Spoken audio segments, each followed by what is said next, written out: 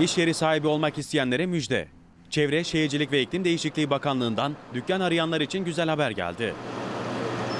TOKİ 20 ilde 204 iş yerini açık artırmayla satışa çıkaracak. Açık artırmayla iş yeri sahibi olmak isteyenlere yatırımlık dükkan fırsatı sunulacak.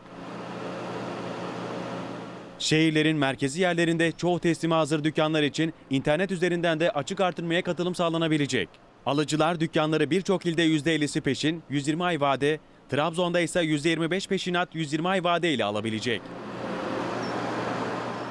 Açık artırmalar 1 Eylül 2022 Perşembe saat 10.30'da yapılacak.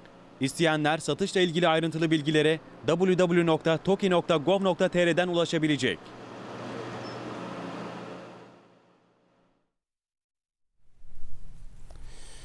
Peki bu Esenler'de e, sayın seyirciler şu anda da dünyanın en büyük kentsel dönüşümü yapılıyor. Hani parsel değil ada bazında yapılan dönüşümler bunlar. Ve e, söylediğim gibi biraz önce de ya, Türkiye'de yapılacaksa eğer kentsel dönüşüm böyle yapılmalı. Böyle ev mahallede bakıyorsunuz bir ev yıkılıyor yerine aynı e, evin yenisi yapılıyor. Sadece ev yenileniyor. Ama sosyal donatı alanları, yolları, parkları, otopark falan nasıl yapılsın ki parsel bazında tek tek yıkılarak? Dolayısıyla kentsel dönüşüm dediğimiz meseleyi biz yanlış anladık.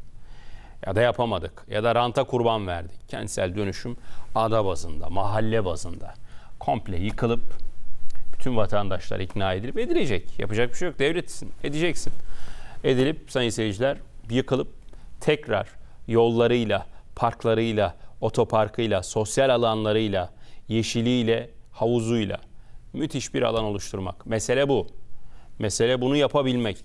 Daha fazla video izlemek için kanalımıza abone olabilir, ilk izleyen olmak isterseniz bildirimleri açabilirsiniz.